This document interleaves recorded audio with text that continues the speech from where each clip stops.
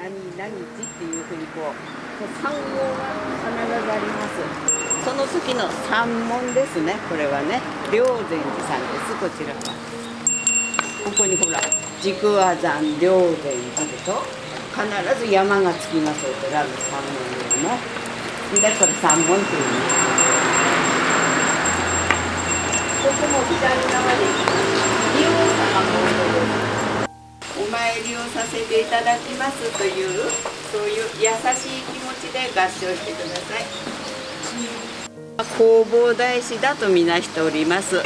昔の人たちはここにまあ私も今名前も書いてますがあの墓標になります。どこで死んでもこのお杖があればこれが墓標としてあ弔ってもらいますね。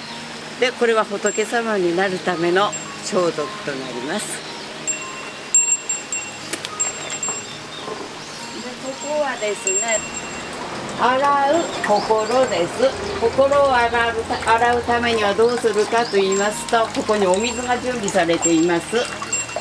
清める体を清めることで心が清らかにしてお参りするという。次は鐘。楼です鐘。えーとこの鐘はですね今お寺にお参りに来ましたという挨拶。最初につかないとい。そうけないです。帰りがねってのはつきません。使わせていただきますという感謝の気持ちを持ってくださいね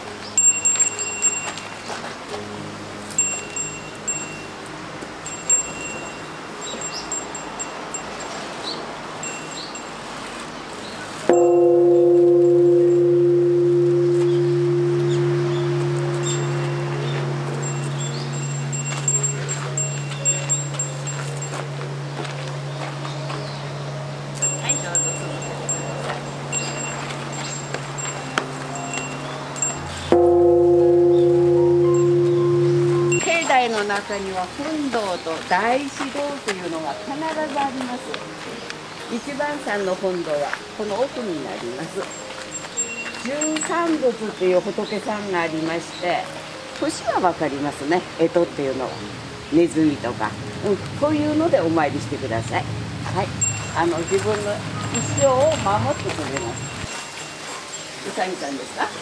はい。じゃあそこでお参りしてください。清めるって言いますかね。明るい、まあ、自分のその真実を火につけるって言いますか。この日からお線香の火をもらいます。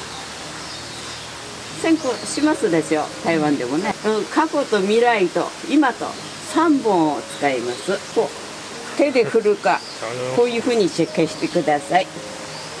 でこのね使ったろうそくはこの辺に置くと誰かの袖を焼いたりなんかしますので上の方に上げてくださいこう。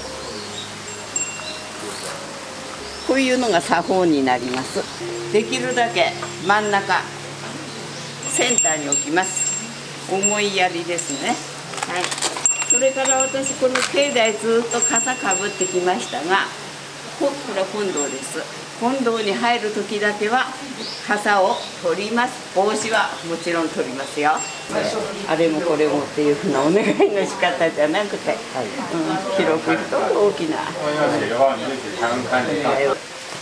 お遍路をね138回回ったっていう、うん、そういうあなんていうか納め札なんですが、何回も何回もお参りしてるわけですねやっぱりそれでいいってことでもなくてあまだ違うなまだ違うなと思ってこうぐるぐる回ってるうちに私24年も経ってしまいましたがねまあまだこれから先も行くと思いますでやっぱりお札ですのでぴょーんと捨てたりしないで大切にお前こうお札納めてくださいはいどうぞ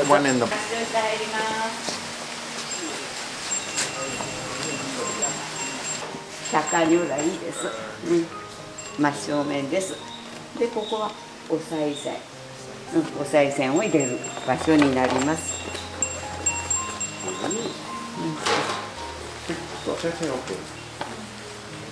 はい、そしてね邪魔にならないようにやっぱり常にそこ向こう側開けておきましょう。で皆さんと一緒にお経をあげた時にあとはあのご本尊さんに向かってありがとうございましたこういうふうな格好でお参りしていきますあの普通お遍路さんはねもっともっと時間かけてお参りしていきます。はい、後ろから下がってご本尊さんに合掌しましょう。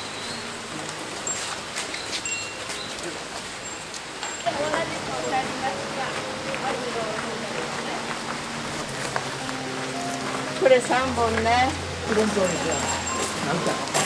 13仏のどれかどれか mean that 左本堂や。本堂本堂大師堂大師大師堂 is uh, 大師堂 is for 大師はい、ここ。はい、お寺マーク。はい、お札入れましょう。まずこうやって奥覗いてください。弘法大師のお姿がはっきりと見えます。あなたは四国遍路の一番札所霊禅寺ではい、どのように感じましたか？はい、私はとても興味深いなのです。古いの建物がとても興味深いなのですから。はい、四国遍路をどのようにして知りましたか？はい、学校で知りました。学校で知りました。はい、もしするとしたら歩いて行きますか？車で行きますか？えっ、と歩いことの歩いことの方がやります。おおはいそうです。なぜ歩きたいのですか？それはね 空気がゆっくりと見たいので。はいそうです。はいありがとうございました。はいありがとうございます。ありがとうございました